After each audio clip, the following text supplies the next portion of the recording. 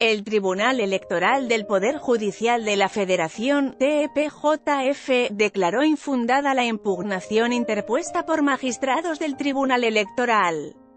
del Estado de Puebla a la asunción total de las elecciones extraordinarias de Puebla que realizó el Instituto Nacional Electoral. Con lo que se ratifica que el órgano electoral nacional organizará el proceso para elegir al nuevo gobernador de esa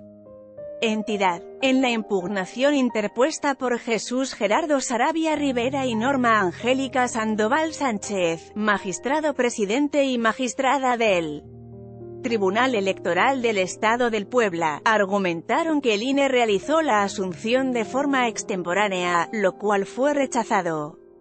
Por el Pleno del TPJF, se considera que los agravios son infundados porque la regla que exige que la solicitud se antes de que empiece el proceso electoral respectivo fue creada para situaciones ordinarias, además de que en el caso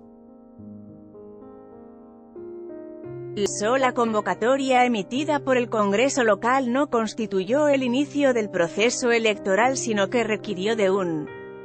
acto posterior dictado por el órgano electoral local, dice el proyecto aprobado. Cabe destacar que el proyecto fue aprobado por mayoría de votos. Los magistrados Reyes Rodríguez, Felipe de la Mata, Yanino Talora y el magistrado presidente, Felipe Fuentes, votaron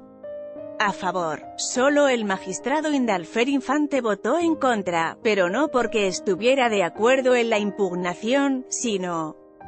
porque consideró que los magistrados electorales de Puebla carecen de facultades para interponer un juicio electoral.